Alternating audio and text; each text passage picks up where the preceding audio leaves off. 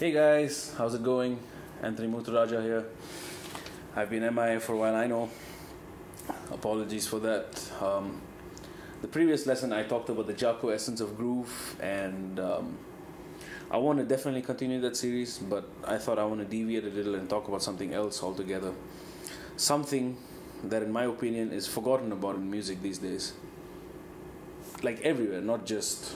Um, jazz or improvising and that kind of stuff. Melody. Now, melody is what seals a song for me. You know, and essentially, you can look at everything as a melody. A bass line is a melody. I don't know why people have to look at it as a bass line. You know, like, for example,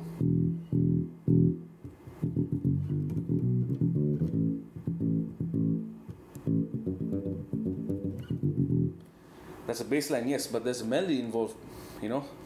You can sing that. People sing this stuff because they, they recognize it. They recognize the hook and it's melodic and groovy. So I want this lesson will be in the context of improvisation. And I think improvisation is a good ground to cover even for even if you're looking for compo- compositional um, inspiration because essentially composition comes out of improvisation you have an idea and you build on it. That is how you improvise and that's how you write. It all stems out of improvisation. It's not like, I mean, there are occasions where you have everything concrete already. But a good number of times you sit down and improvise on your instrument. You you try to figure out, okay, what do I do? Um, what do I have to try? Blah blah blah. So, you know, many lessons will tell you you need to know your chord scales. You have C major, play C major scale. Bravo! Like I didn't have to be told that Captain Obvious. I mean, come on, isn't it obvious? So, chord scales, arpeggios, licks, patterns, shapes. Like there's a lot, a lot of stuff that can really leave you hanging in a rut. So, what I'm going to do is I'm going to talk about how you can use arpeggios and scales to think about melodies or to create melodies so you don't have to think scales when you play or improvise or write music or coming up the bass line or writing a song and laying down the harmony you don't have to think oh, okay E major would should go to A major or A minor. Four minor is cool, but is the melody taking it there? So that kind of a thing. So I'm going to take one lick, which is the mother. I call it the mother of all bebop licks. No, it is not the lick. Although actually, that's a. I like that lick. Um, we're gonna go with this lick. Again. So that's a 2 5 in uh, G.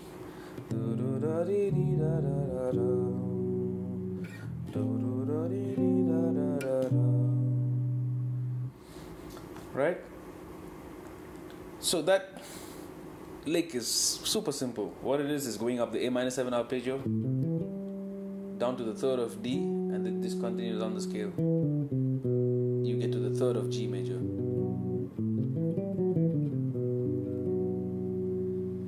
Right, so now I'm going to play the original lick and then I'm going to play some melodies that I have come up with using this as a skeletal frame and then I'm going to try to create new melodies as well. So there'll be fumbles, don't mind. I mean, I'm not going to edit anything. I just want you to see the process of what I do in the shed. So original lick is okay, some extension ideas.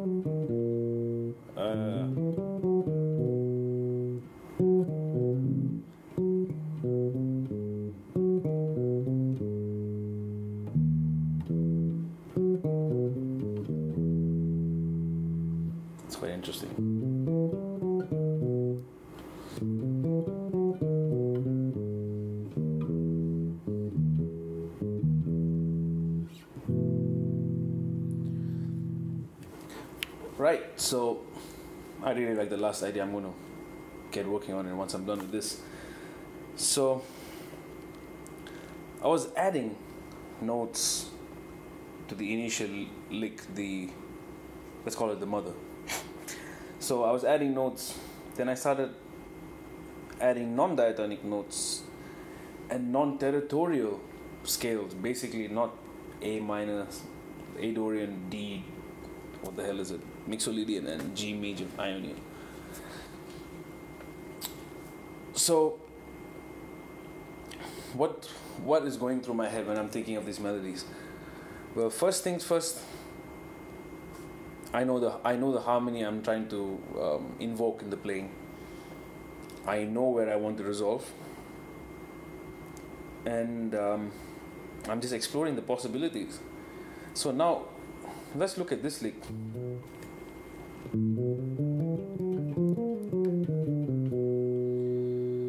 This it comes from the D altered.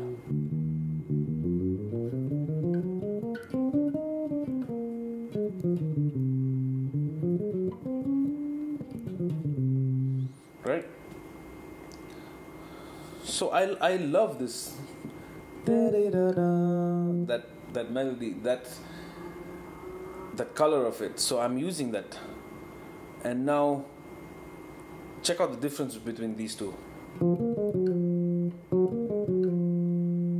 The first one I started here. The next one I started here. Both of it has its flavors. Right? So and I I try to sing these lines because I want them to be melodic, melody. Like it has to sound like a melody. Like I want to convince somebody that's a tune. Like it's a song that somebody wrote and never released. Actually, that's kind of lame, but um.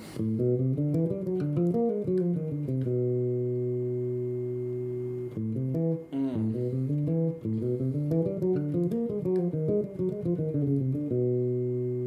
Now these are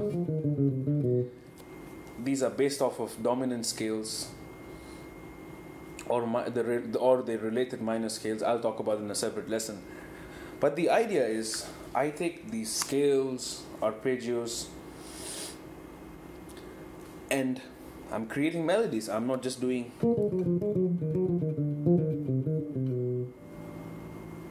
That that sounds like shit.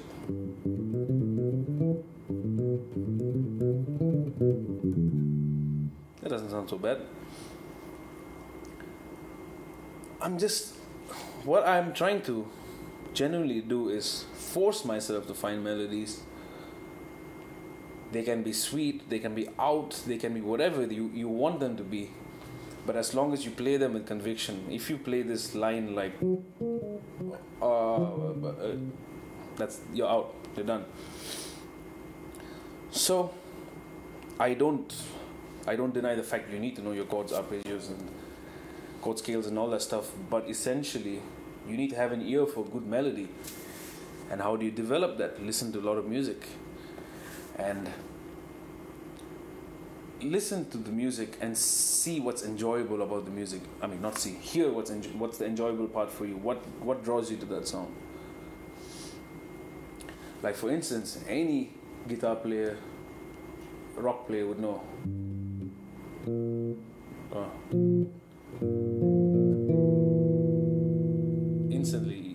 what song that is. Right?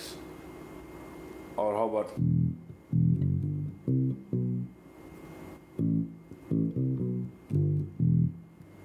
you know that now that's a bass line yeah the earlier one was chords but it still revolves around the melody